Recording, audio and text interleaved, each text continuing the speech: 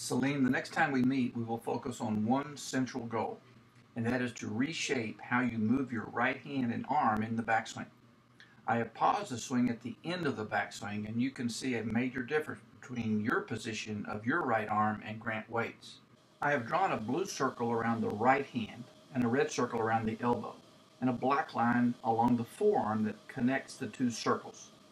You can see that Grant's forearm is almost vertical, as if he were holding a tray like a waiter. The elbow is pointing down to his hip. Your forearm is almost horizontal and pointing sideways. I am confident I can get you to feel the correct way, and when you do, you will see a remarkable difference in how you hit the ball. You'll hit it more effortlessly and consistently. We will first spend some good portion of the beginning during non-ball movement drills with just the right arm and hand. We will then do some right hand only drills where you will be hitting balls but only with the right hand. You can prepare for the next session by doing some at home movement drills without a club.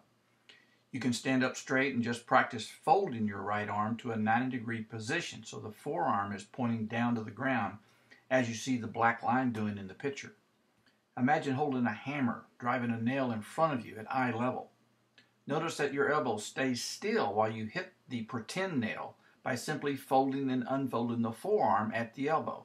Next, while still standing straight, face a mirror and extend your right arm out to your side parallel to the ground. And again, do the hammer drill by simply folding your right arm up and down. Make sure when you raise your right hand up, the elbow stays stationary so that your right hand moves above your elbow. As you can see, Grant has positioned his.